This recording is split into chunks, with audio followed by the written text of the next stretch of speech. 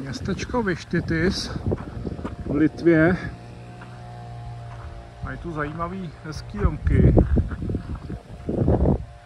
A zhruba 100 metrů od nás, jak jsou tamhle ty hraniční boje červený, je Putlerova ruská exkláva Kaliningrad, kam se nemá plavat, takže 100 metrů od říše zla v tuhle chvíli.